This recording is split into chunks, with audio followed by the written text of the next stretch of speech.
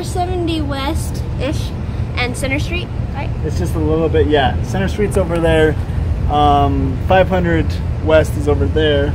So on, going this way. And then Center Street is that way. So it's just right behind this building on What the is corner. this building? Uh, Rent-A-Center's right there on the corner, so it's behind it over here. I don't know if this is still Rent-A-Center. It might be.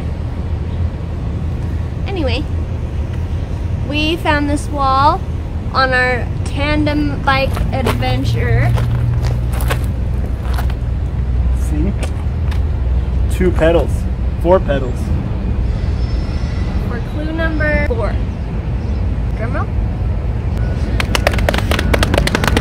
Her Name, is two, syllables. long.